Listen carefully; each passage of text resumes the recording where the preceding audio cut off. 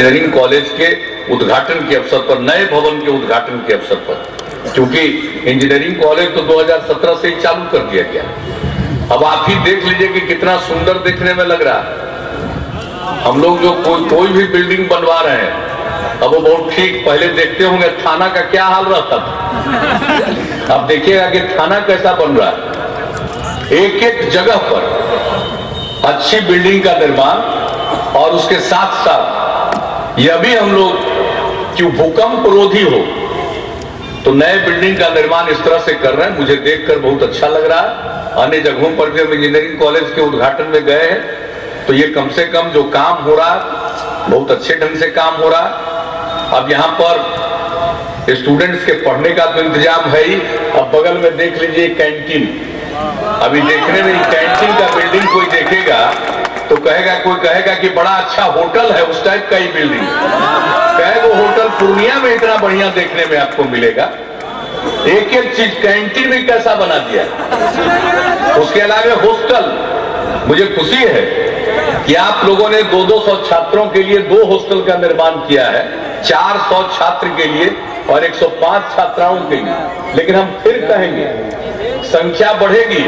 ये छात्राओं का 105 नंबर ही मत रखिए, क्योंकि अब छात्र से पीछे छात्राएँ नहीं हैं, अब छात्राएँ बहुत संख्या में आगे बढ़ रही तो ऐसा मत करिएगा कि 105 वहाँ पर छात्रा के लिए, गर्ल स्टूडेंट्स के लिए और बिल्डिंग बनाइए, जो पैसे की ज़रूरत होगी सरकार उपलब्ध कराएगी। और दूसरी तरफ़, स्टूडेंट के लिए भी, छात्रों के लिए भी, अगर ये लगे कि 400 के अलावे और ज़रूरत है तो उसके लिए भी निर्माण एक आध छात्रावास का और ज़रूरत हो, वह भी करवाइए, लेकिन जल्दी से जल्दी उसका प्रस्ताव तैयार करके लाइए, ताकि उसको स्वीकृति मिल जाए।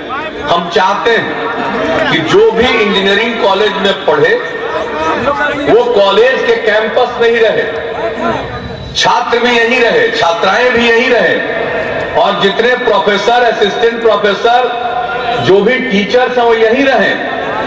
अन्य जो टेक्निकल लोग हैं लेबोरेटरी में, वो भी यहीं पर रहे। जो हमारे अन्य कर्मी हैं कॉलेज को चलाने के लिए वो भी इसी कैंपस में रहे। और ऐसा होने पर लोगों का मन बहुत लगेगा। अभी अच्छा नहीं लगेगा कि पढ़ रहे हैं इंजीनियरिंग कॉलेज में, और हॉस्टल के बाद पूरी जगह नहीं मिली तो कुछ लोग बाहर रह रहा है लॉज में तो वो हमको पसंद नहीं। क्योंकि हम भी इंजीनियरिंग कॉलेज से निकले। बिहार कॉलेज ऑफ़ इंजीनियरिंग जो अब एनआईटी में हो गया केंद्र में आदरणीय अटल जी की सरकार में मैं मंत्री था मेरे प्रयास से बिहार कॉलेज ऑफ़ इंजीनियरिंग जो पटना का था वो देश में जब छह इंजीनियरिंग कॉलेज थे तब पटना का इंजीनियरिंग कॉलेज बना था उसको एनआईटी में अपग्रेड करवाया था। वो तो अब एक दूसरी स्थिति में। लेकिन उस समय कहा स्टूडेंट्स को रहने के लिए हॉस्टल में जगह फ़र्स्ट ईयर वालों को तो कोई खास जगह ही नहीं मिलती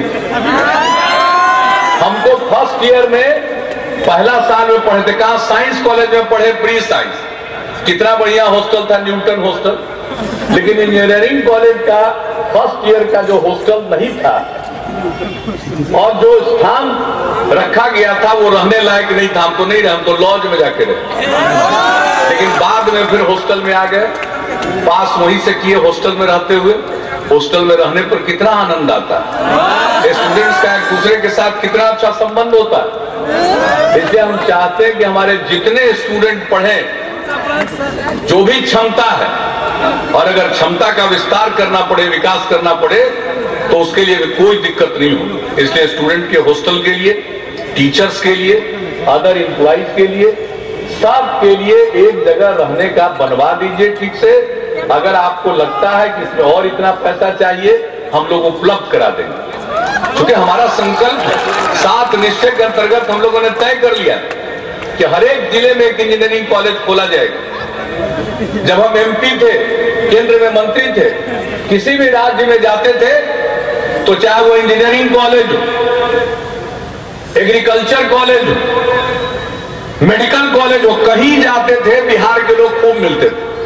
और जब रेलवे मिनिस्टर थे, तब कहीं जाते थे तो कॉलेज के बाहर लड़का खड़ा रहता था मिलने के लिए। हम पूछते थे, क्या बात है?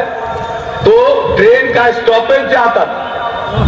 कि यहाँ पर स्टॉपेज हो जाएगा तो हमको आगे जाने में दिक्कत नहीं होगी और वहाँ से हम बिहार चले जाएँगे। तो हम देखते थे हर जगह। एग्रीकल्चर कॉलेज हो वेटनरी कॉलेज हो इंजीनियरिंग कॉलेज हो, सब जगह। आ कुछ राज्य तो ऐसा था वो कहता था, साहब, देखिए, हम तो इतना कॉलेज बना रहे हैं, बिहार के लोगों को फ़ायदा पहुँचा रहे हैं तो मुझको हँसी आती थी हमने तय किया कि हमारे हर ज़िले में इंजीनियरिंग कॉलेज बनेगा, और आज बहुत सारे जिलों में बन गया है, जो बचे हुए ज़िले हैं, वहाँ ज़मीन का आवंटन हो गया है सारी कार्रवाई, और इसके लिए जो केंद्र में तकनीकी महाविद्यालय खोलने के लिए जो उसके लिए इंस्टीट्यूशन है, वहाँ तक एप्लीकेशन भी दिया जा चुका है इसकी मंजूरी के लिए।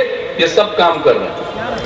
तब बिहार के छात्र छात्राओं को पढ़ने के लिए हर ज़िले में इंजीनियरिंग कॉलेज जब उपलब्ध हो जाएगा तो बहुत कम लोग बाहर जाएँगे। और आप जानते हैं अब बाहर में जो बहुत सारा इंजीनियरिंग कॉलेज है वो बंद होने के कगार पर आ गया।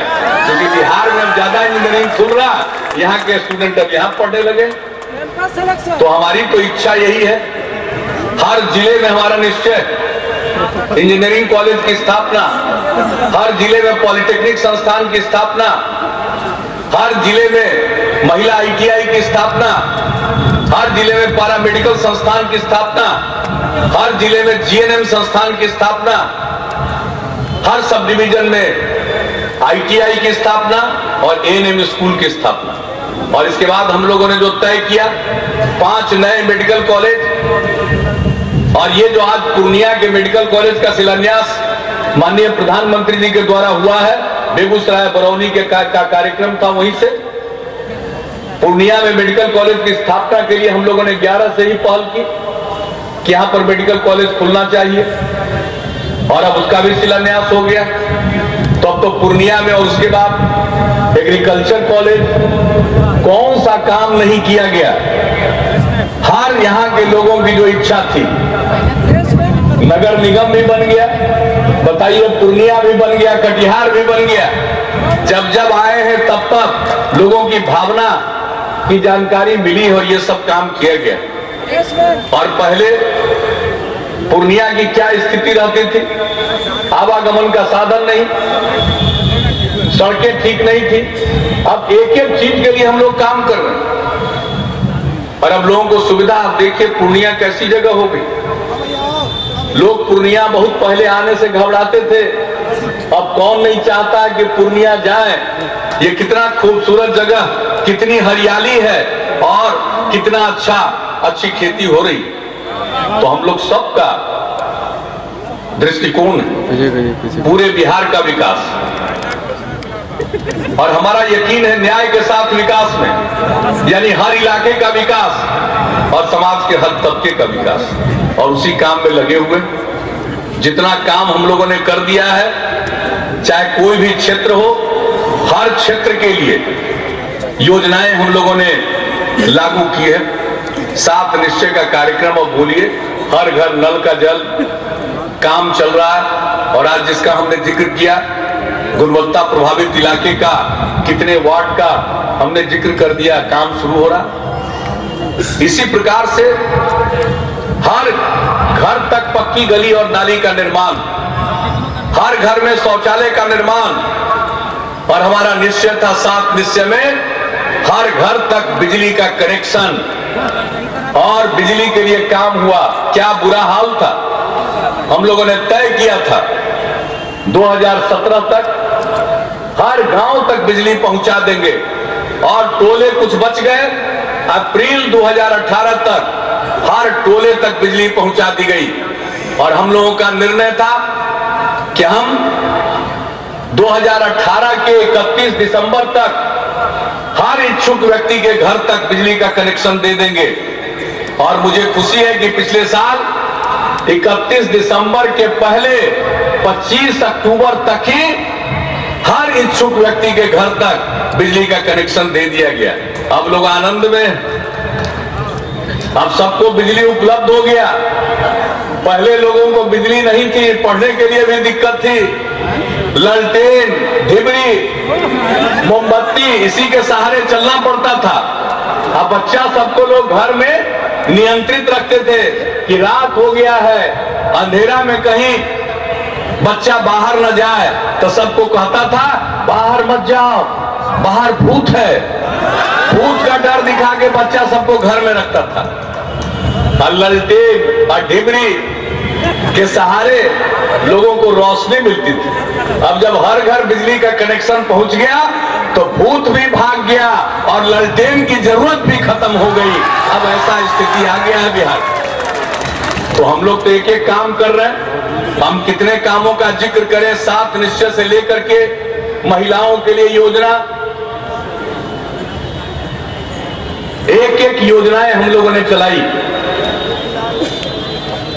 और उसके बाद, सब कुछ के बाद भी और सारा काम कर रहे हैं। और अभी हाल में, अभी तीन दिन पहले हम लोगों ने ऐलान कर दिया कि अब जितने भी लोग 60 साल से अधिक उम्र के हैं। उनको हम वृद्ध जन मानेंगे और उनको भी वृद्धावस्था पेंशन का लाभ दिया जाएगा। जो सीमित थे बीपीएल तक, और जिसका नाम बीपीएल में छूट गया, वह भी वंचित रहता था। तो बहुत सारे लोग वंचित रह जाते थे। लगभग 36 लाख एक अंदाज के मुताबिक लोग वंचित रह जाते थे। अब हम लोगों ने तय कर दिया है कि कोई सरकारी सेवा से सेवानिवृत्त हुआ है और उसको पेंशन मिल रहा है, उसको छोड़ करके जो भी पुरुष हो या स्त्री 60 साल की उम्र उनकी हो जाएगी तो उनको पेंशन योजना का लाभ दिया जाएगा और उसके लिए नई योजना, मुख्यमंत्री वृद्ध जन पेंशन योजना की हम लोगों ने शुरुआत कर दी। अब सबको पेंशन का लाभ। दोनों पति पत्नी को मिल जाएगा। अब घर में इज़्ज़त भी बढ़ जाएगी। तो ये भी काम अभी हम लोगों ने शुरू कर दिया। इसलिए एक एक काम जो आवश्यकता होती है, उन सब चीज़ों पर हम लोग करते रहते हैं। और आज यहाँ पर मदरसा के भी लोग बैठे हुए हैं। मैं उनको बता देना चाहता हूँ, जो 1128 कोटि के मदरसा शिक्षक हैं, उनको भी सातवें वेतन का लाभ हम लोग दिलवा देंगे, उसकी चिंता मत करिएगा।